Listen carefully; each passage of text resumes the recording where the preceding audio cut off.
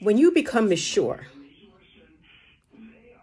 you mature in the things of God, especially in the Word of God.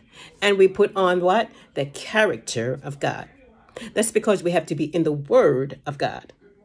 And the Word is what? The Word is life. It is life to us. Each day, we put ourselves in the Word and it becomes life, a refreshing each and every day as we grow in the character of God.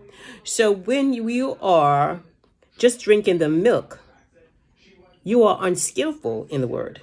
So we have to eat the meat of the word, which will bring us into full, mature believers in the word. So we will be skilled as we're eating the meat of the word. And we become character. We become the character of God because we're in, in, in increasing in the word of God.